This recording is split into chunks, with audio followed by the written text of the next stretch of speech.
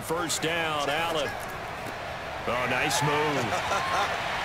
oh, he's got a little daylight. And all the way in for a Cincinnati score.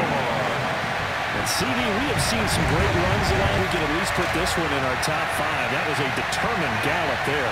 Yeah, this is a guy that runs with such balance and control. I mean, he went through that early contact just like he was driving over a speed bump. And he's able to continue his way downfield wind up in the end zone. To the play. And that's precisely what allowed that defense to disrupt the pass. Throwing on second and long. Allen. He's got a man. Complete. The 20. And all the way in for a Cincinnati score. Especially when you see them in full pads, it is sometimes hard to appreciate how truly fast they can move. That was incredible. Well, in this league where coordinators worry so much about drawing up on second down.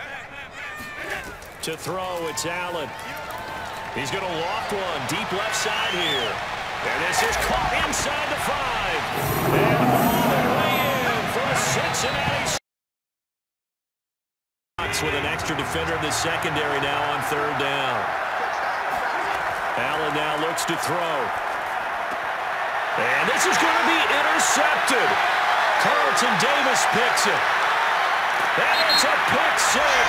He brings it back to the house for a Buccaneer TD.